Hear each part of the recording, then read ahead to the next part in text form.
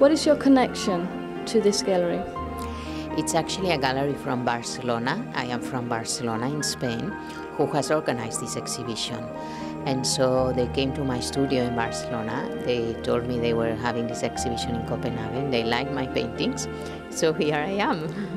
so that's the connection. Actually, I didn't have a connection with the gallery. It's through the Gallery of Barcelona who has organized this here. And what is your artistic background? I've studied uh, fine arts at the University of Barcelona and also at the California College of Arts and Crafts and I did my PhD in fine arts in the Barcelona University also. So um, I've done mainly painting, but I've done sculpture, photography, print, printing. I also have prints here that I'm exhibiting. You talked about the uh, meaning of freedom and respect in your pictures. Could you explain what you mean about that? Yes, I uh, normally like to dedicate my artwork to some um, spiritual and value based project. And so, actually, these two paintings, the painting of freedom and the painting of respect, I did, uh, did them when there was the 50th anniversary of the Declaration of Human Rights and also for the International Year for the Culture of Peace, one for one thing, one for the other thing. And so I think that respect and freedom are two very basic values that if we want a culture of peace in life and if we want human rights, we need to have those values. Do your pictures have a spiritual connection as well? Yes, because I paint the light and light is uh, very important in my artwork.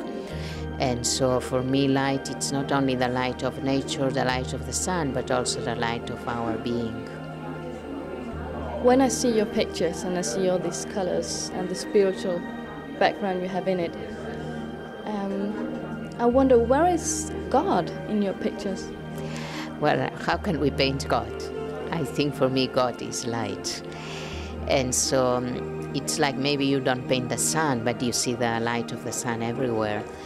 So it's not that I paint God, but the light of God shines through my being and through what I do because actually for me meditation and spirituality is having a relationship with that supreme being which is the supreme light.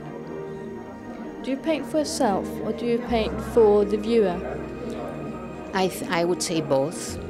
I think whatever we do deep down is for ourselves but also for others and so I want to share the spirit of light, of happiness, of beauty, of harmony, of life, of colorfulness with the viewers so that they can enjoy those values in their lives also and they can have hope. What do you expect the viewer to feel when she still sees your picture? To feel alive, to feel energetic, to feel vital, to feel happy, to feel vibrant, to feel hope, to see the beauty because one side of reality is ugly, but there's another side that we should not forget, which is the beautiful side of reality. How long time are your pictures hanging down in Gallery Ecology? The opening is on the 4th of July today, and it will be until the 25th of July. Thank you. Thank you so much.